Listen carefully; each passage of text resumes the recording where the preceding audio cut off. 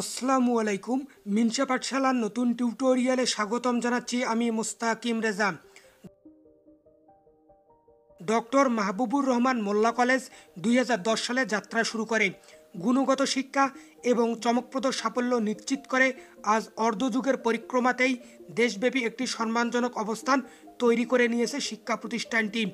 মাত্র দুশো একুশ জন শিক্ষার্থী নিয়ে পথ চলা শুরু করে বর্তমানে শিক্ষার্থীর সংখ্যা তিন সহস্রাধিক। ড্যামরা রোড গুলিস্তান ফ্লাইওভারের কাছে এই কলেজটি অবস্থিত। এই কলেজের অন্যতম বৈশিষ্ট্য হল সুশৃঙ্খল ও আন্তরিক পরিবেশ এবং দক্ষ শিক্ষক মণ্ডলী। এছাড়া প্রতি পরীক্ষার মাঝে বিষয়ভিত্তিক দুটি কুইজ পরীক্ষার ব্যবস্থা রয়েছে। আজকের এই ভিডিওটিতে ডক্টর মাহবুবুর রহমান মোল্লা কলেজের ভর্তি আবেদনের ন্যূনতম যোগ্যতা, আসন সংখ্যা, কলেজের খরচ, চান্স পেতে কত জিপিএ থাকতে হবে, হোস্টেল ব্যবস্থা, যাতায়াত ব্যবস্থা ইত্যাদি বিষয় নিয়ে প্রয়োজনীয় সকল তথ্য তোমাদের সাথে শেয়ার করতে যাচ্ছি। শুরু করার পূর্বে একটি অনুরোধ, তোমরা যারা এখনও মিনসা পাঠশালা চ্যানেলটি সাবস্ক্রাইব করনি, অনুগ্রহপূর্বক সাবস্ক্রাইব করো এবং পাশে থাকা বেল বাটন প্রেস করো পরবর্তী আপডেট সবার আগে পাওয়ার জন্য। শুরুতেই ডক্টর মাহবুবুর রহমান মোল্লা কলেজের ভর্তি আবেদনের ন্যূনতম যোগ্যতা এবং আসন সংখ্যা দেখে নাও। বিজ্ঞান শাখা থেকে আবেদন করতে গেলে ছাত্রীদের GPA four point five zero এবং ছাত্রদের GPA four point six seven থাকতে হবে। এই কলেজে ছাত্রীদের জন্য ছয়শো পঞ্চাশটি আসন এবং ছাত্রদের জন্য তেরোশো পঞ্চাশটি আসন রয়েছে। সব মিলিয়ে বিজ্ঞান শাখায় দুই হাজারটি আসন রয়েছে। ব্যবসা শিক্ষা শাখায় ছাত্রী এবং ছাত্র উভয় আবেদন করতে গেলে GPA three point three three থাকতে হবে। এই শাখায় ছাত্রীদের জন্য তিনশোটি আসন এবং ছাত্রদের জন্য পাঁচশো পঞ্চাশটি আসন রয়েছে। সব মিলিয়ে ব্যবসা শিক্ষা শাখায় আটশো পঞ্চাশটি আসন রয়েছে। একইভাবে মানবিক শাখায় আবেদন করতে গেলে ছাত্রী এবং ছাত্র উভয়ের জন্য জিপিএ থ্রি পয়েন্ট থাকতে হবে। এবং এই কলেজে ছাত্র এবং ছাত্রী উভয়ের জন্য আড়াইশোটি করে মোট পাঁচশোটি আসন রয়েছে।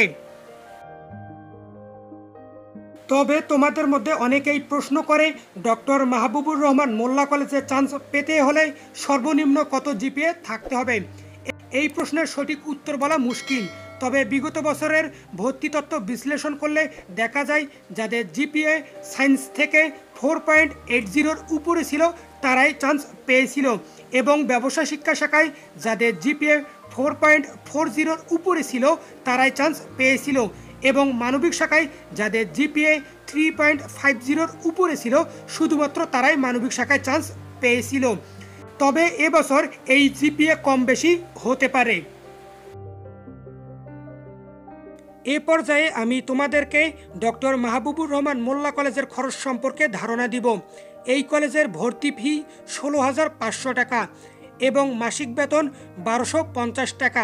এই কলেজে সকলের জন্য কোচিং করা বাধ্যতামূলক। এই কলেজে কোচিং করার জন্য সায়েন্স থেকে দুই হাজার পাঁচশো টাকা ব্যবসা শিক্ষা শাখা থেকে দুই হাজার টাকা এবং মানবিক শাখা থেকে সতেরোশো টাকা লাগবে। সব মিলিয়ে বিজ্ঞান শাখায় তিন হাজার সাতশো পঞ্চাশ টাকা, মানবিক শাখায় দুই হাজার নয়শো পঞ্চাশ টাকা এবং ব্যবসা শিক্ষা শাখায় তিন হাজার দুশো পঞ্চাশ টাকা লাগবে প্রতি মাসে। এবার হোস্টেল সুবিধা দেখে নাও। এই কলেজে হোস্টেল নেই। তোমাকে থাকার জন্য কলেজের আশেপাশে বা তোমার যেখানে সুবিধা, সেখানে তোমার সাধ্যমতো হোস্টেল বা মেস খুঁজে নিতে হবে। যাতায়াত ব্যবস্থা। এই কলেজে যাতায়াতের জন্য বেশ কিছু বাস চালু রয়েছে ঢাকার বিভিন্ন রুটে। স্থানভেদে যাতায়াত করার জন্য প্রতি মাসে তোমাকে এক হাজার থেকে পনেরোশো টাকা দিতে হবে। ক্লাসের সময়সূচি। এই কলেজে দুটি শিফট রয়েছে। ডে শিফট এবং মর্নিং শিফট ডে শিফট ছাত্রদের জন্য এবং মর্নিং শিফট ছাত্রীদের জন্য। মর্নিং শিফট সকাল সাতটা তিরিশ থেকে দুপুর একটা তিরিশ মিনিট পর্যন্ত এবং ডে শিফট সকাল এগারোটা দশ মিনিট থেকে বিকাল পাঁচটা তিরিশ মিনিট পর্যন্ত। মাঝখানে তিরিশ থেকে পঁয়ত্রিশ মিনিট টিফিন বিরতি থাকবে। আজকের এই ভিডিওর সকল তথ্য বিগত বছরে ভর্তি বিজ্ঞপ্তি হতে নেওয়া হয়েছে। এবছর তা কম বেশি হতে পারে। এই ছিল ডক্টর মাহবুবুর রহমান মোল্লা কলেজে একাদশ শ্রেণীতে ভর্তি সম্পর্কিত সকল তথ্য। পরবর্তীতে কোন কলেজের ভর্তি তত্ত্ব দেখতে চাও, কমেন্ট করে জানিয়ে দাও। সকলের প্রতি শুভকামনা জানিয়ে আজকের মতো আমি এখানেই বিদায় নিচ্ছি। আল্লাহ হাফেজ।